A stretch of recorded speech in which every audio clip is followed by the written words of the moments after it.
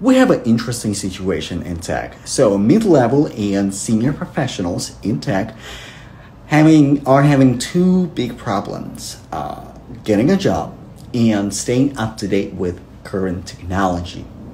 So, what to do about it?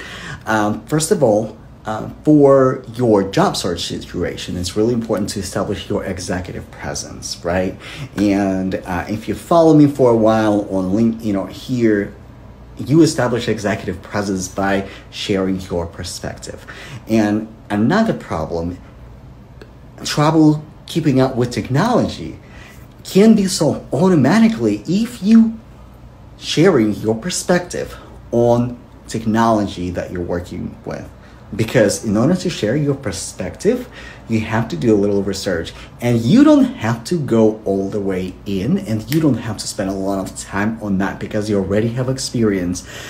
Pick what interests you and share it with the world.